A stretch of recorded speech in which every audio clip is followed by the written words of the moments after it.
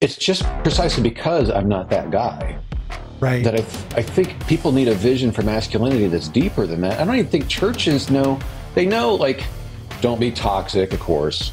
But then when they try to describe what masculinity is, it's like, well, let's let's have steaks. Let's do an axe throwing event. Let's like, that's cool. There's nothing wrong with that. But that, Sure. there's got to be something. There's got to be a vision for masculinity that's deeper than that. You know, as I was preparing to launch this podcast, I realized there are, are a ton of resources for a kind of cartoon version of men, right? Yeah. Like dripping sweat and testosterone, bare chested, big beards, cigars, and, and all these things. But it seems like there's a real hole when it comes to resources for just real biblical manhood, dads, and, and especially young men. Tell me why you decided to write these books and get into this area.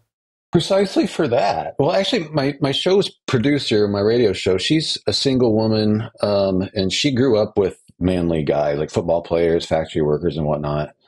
And she was shocked when she first worked with me because I don't do any of that Uh-huh. for various reasons. I like I'm just not. I don't have a problem with hunting. I just don't. I don't, I don't have good vision, so that's not a good prescription for fun. But um, she was struck by wait, he's got puppets. He's got an accordion in here. He plays the flute. but when she came to our house to visit and got to know my family, she's like, "But everybody in this family is so secure." Mm. And she wasn't so used to that necessarily from a man. And so she said, You should write a book about masculinity. And I would talk about it with her off the air on the air. And it's just precisely because I'm not that guy Right. that I, th- I think people need a vision for masculinity that's deeper than that. I don't even think churches know.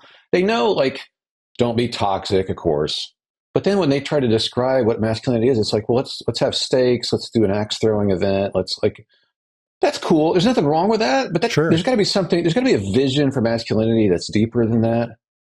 And if guys aren't given that vision, they will fall for stuff like the Andrew Tate garbage or like all sorts of mistakes.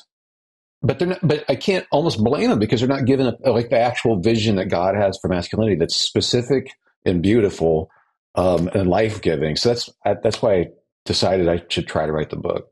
Yeah, well, I love that.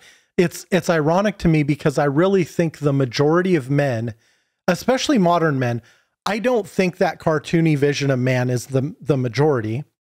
Unfortunately, what I do see is probably as the the ages get younger, we're swinging toward more and more femininity in men, which is really dangerous.